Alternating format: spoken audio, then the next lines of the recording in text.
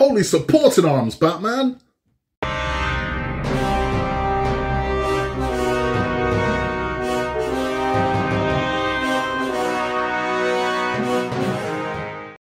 Hello there and welcome back to Building the Boys. We now have issue 16 of Hachette's Build the Batmobile Tumbler.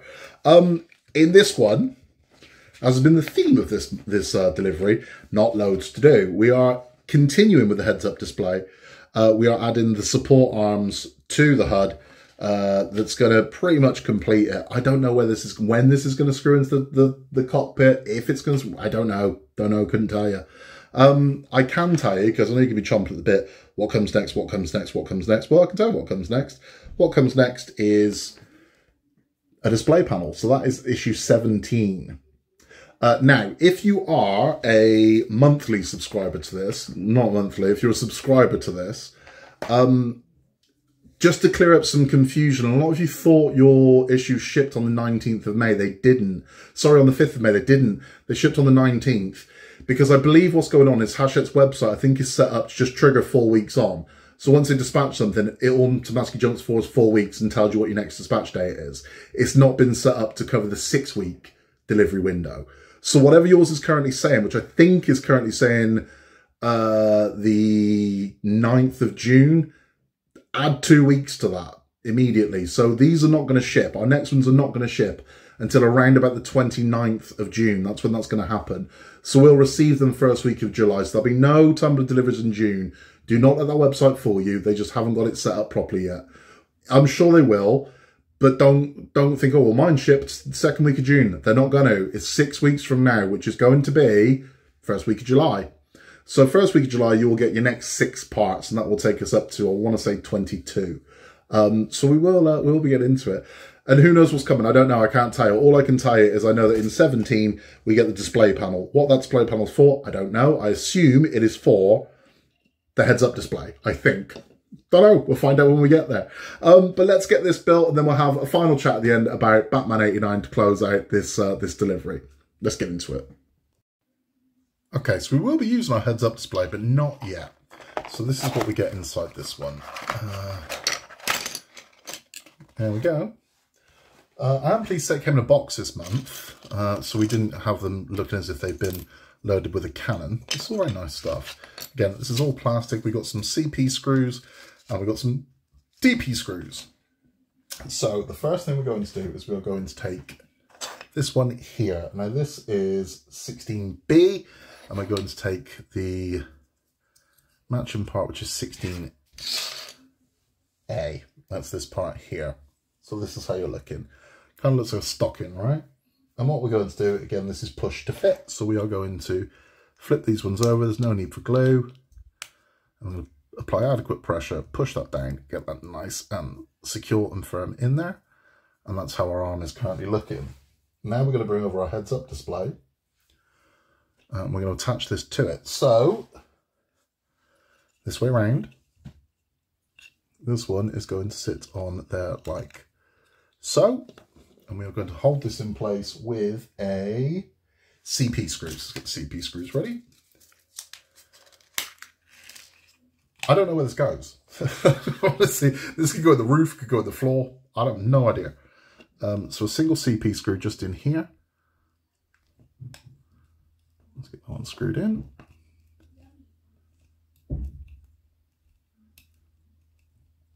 Is that one in? And that's how we're looking. Uh, so now we are going to we're going to install this piece. Now this came with uh, issue 14, 15. Uh, so this is going to slide into this part here. We go this way around. So that's going to go in there like so. Leave that there for now. Don't know how that's ever going to hold, but that's how they're telling us to put that in.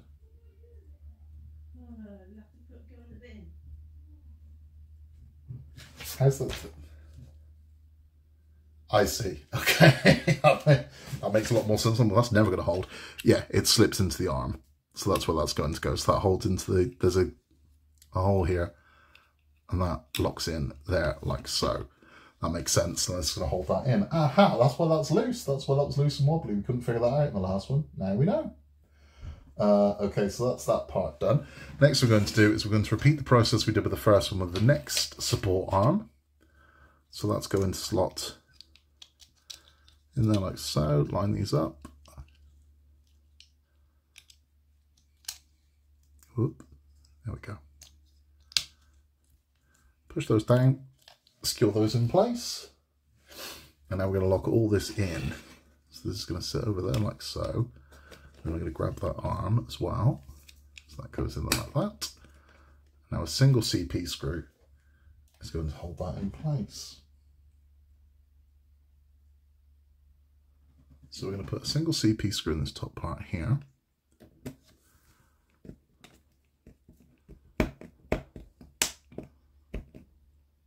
Okay, so that's how we're now looking there.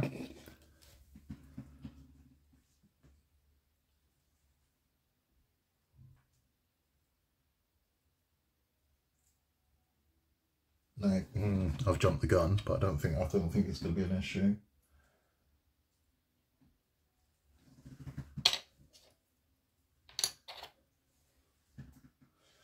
Yeah, I've jumped the gun a little. This should have gone in first. Yep, bugger that up. Let's try again. There we go. Just had to loosen the screw there to get that in. But that's where this piece goes. So that leaves us these two holes here and here, which we're now going to secure this part in place with DP screws. So get the DP screws out. And these are the kind of, uh, the flat-headed screws. Um, we're going to pop one in each side. And then this one is in the books. All right, so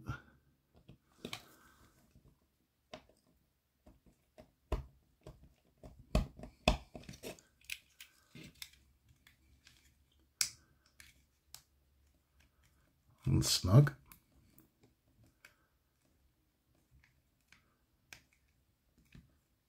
There we go, that's that one in. And because this is plastic, again, there's no need for the three in one here. Uh, they are snug, but they're cut in their own thread. So um, it's uh, once they start going, they, they start going. There's a bit of a bit of pressure to begin with. That's that one, just tighten this one up. That's it. So this is now how our heads-up display is looking. Um, I don't, I don't know where this goes. I have no idea where in the vehicle this goes or how this goes. Um, I don't know. I genuinely don't know. I mean, we've got this piece here we're not using yet, which that's where that's going to go, I guess. Um, I don't know. I don't know where this goes. I can't. I can't tell you. Um, but that is the heads-up display complete, and that is the end of delivery for uh, for this month. Um, it's looking good. It's looking nice. I mean, again, this is gonna. It's the detail in this thing, man. It's gonna look awesome. I'm loving this silver and the black. I think it looks great. Looking forward to see where we go with this. Right, let's have a chat. So that's it. That's our heads-up display built. Now, I went looking for pictures. I did find one. This sits in front of the, I'd say steering wheel, it doesn't look like a steering wheel. This sits in front of the controls. This will attach to the dashboard floor. So it looks like that's certainly what we're doing. We're building more um, cockpit, definitely. Uh, I can see by this keyway here, it would suggest to me the control panel we're building next is going to attach to that. So that's where we are. Um, and I can't wait. I, and now again, more, more stuff. Yeah, I know, but we have to build these things. We have to. At some point, we've got to build seats. At some point, we've got. You just do. This is this is the beast. This is the nature of it. It's not all hulking great lumps because if it was, you'd do all that and be bored doing the little bits after. Let it grow, man. Let it evolve naturally. And that's where we are. Now, you're not going to get any more Tumbler until July, right? Unless you're buying it through the stores. So basically what's going to happen is uh, the people that buy it in news agents, I think, are on 13 now. So they're going to move up to where we are, and then they're going to go three past us. And then we're going to get Osmo, go three past them, and then they'll catch up and go three past us. That's how that works. So that's that's the way it is. So regardless of what it says on the Hachette's website, you're not getting these in June. These are going to turn up first week of July. That's when you're going to get them. Um, and the journey will continue. And now it's six at a time now. So it's every six every six weeks. That's where we are. So six weeks from now, another six, we'll be up to 22 and we'll be flying through. So we'll be almost 20% done at that point. Can you believe it? Um, but Uh, if you're just sticking around for the building shows, thank you very much. Thank you for stopping by. Uh, please remember to like and subscribe. Helps us massively. We have loads coming up on the channel. Not just this. We also have Infinity Gauntlet. We've got Titanic. We've got Disney Doll's House. Uh, we've got ROKR and Rolife builds. We've got another book nook coming up. Bunch of other stuff as well. Um, so swing by and check it out. I'm sure you'll find something you like. We love hearing from you. We love seeing your work as well. So if you've got work you'd like us to see that you wouldn't mind us featuring on the channel, please uh, email us at buildwiththeboys at outlook.com. Um, we will get back to you. If you do send us pictures or videos, please uh, can you write in that you consent share if you want them shared. If you don't want them shared, if you want to say, hey, check this out, what do you think of it? I'm happy to do that as well. Um, so don't be a stranger. Don't be a stranger. We're very friendly. We'd, we'd love to hear from you. You're sticking around for our chat, this is on my final 89 Batman chat, and this is loosely based on the film. So this is an experience that I had when I was when I was a kid. So I was 10 years old when Batman came out. I was in my last year of junior school at the time, and me and my buddy uh, Andrew were going to a school disco. Um, and we um, we at different times. We were 10, but we walked. We walked to the school on our own. It was like, I think it was like half past five until half past seven or something like that. And we walk at different times. Um, but we were walking to the to the disco. We were both wearing, I remember this, Batman stuff, right? So we were obsessed with the Batman. So we we're wearing the Batman, you know, this is our best clothes. We're our, our Batman t-shirts, you know, we're, we're look out ladies. um, but we were walking and ahead of us was a man walking his dog. And he stopped and started looking up at the sky. And it was unusual. It was very strange. So me and Andy sort of stopped. And we're like, I don't know what's happening here. And the guy started shaking and we thought he was drunk. Um, and he fell backwards, and his head hit the floor. And we sort of looked at each other and didn't really know what to do. We were ten, um, babies, and um, when he his head went up, blood just poured out of it, absolutely poured out of it everywhere. And um, it scared the hell out of us. I've never been so scared in my life that I was at that moment. At 10 years old, that absolutely terrified me. I didn't know what to do. So um, we ran like Batman would to get help. And there was a phone box just around the corner, and we uh, we phoned 999 and again different times. The woman just would not believe us. I was absolutely begging, please send an ambulance, and she just just wouldn't believe us. Um, and said, if you're, and I said, I'm not, I swear to you. And I gave my name and the school I went to. Um, and I said, I, I swear to you, I'm telling the truth. And um, it turns out that the, the gentleman in question had had um, an epileptic fit, a seizure, and had, had gone down hard, fallen and landed. I mean, no attempt to stop himself happened at all. It was just straight with the floor and um, scared the hell out of us. But we went and we, did, we didn't know at this point. We went and got the dog and we were holding the, the dog's lead and we waited and the ambulance turned up and they, they took him away and we, we went to the disco and we told our headmaster when we got there what had happened, and he was a bit, did it really, boys? And we're like, yeah. But no, no one really believed us. I told my mum when we got home, and she was kind of like, really? Because we were very, again, Batman, crime fighters, you know, it, but no one really believed us. But amazingly, the wife of the man um, managed to get our names from the, the 999 call that we made. And uh, because I'd given my school as well, the next thing I know was we got called to the office about two weeks later. And now, typically, when I got called to the office, it meant I was taking a letter home and I was getting a beating.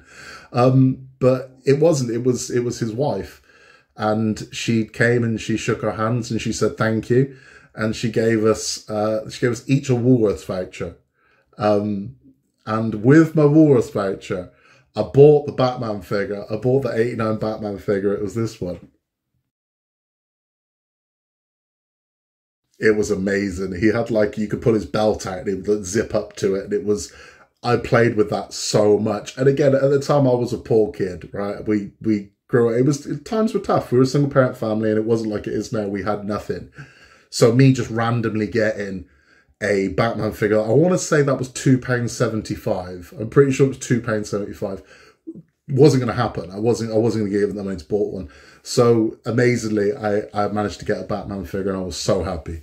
I played with the hell out of that. So that that was the summer of Batman for me, and um, I'm pleased to say he made a full recovery as well. He was. Um, uh, it, it was, it, but it was scary. I mean, at ten years old, it, it absolutely terrified us. But you know, um, we we got Batman figures. so that was, that's that's a true story. That's something I remember about Batman '89. Just a, a, crazy summer it really was, and I managed to get that uh, 89 figure and I, I, played the hell out of it. I had no one for him to fight, so you fighting random, you know, He-Man characters and things like that.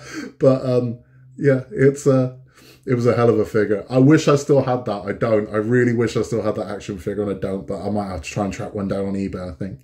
Anyway, that's all from me. Uh, if you would like to contact us again, you can contact us at outlook.com. We'd love to hear from you. We really would. Um, in a world where you can be anything at all, just be nice. And um, we will catch you in July for more Batmobile Tumbler. Remember, Gotham needs us.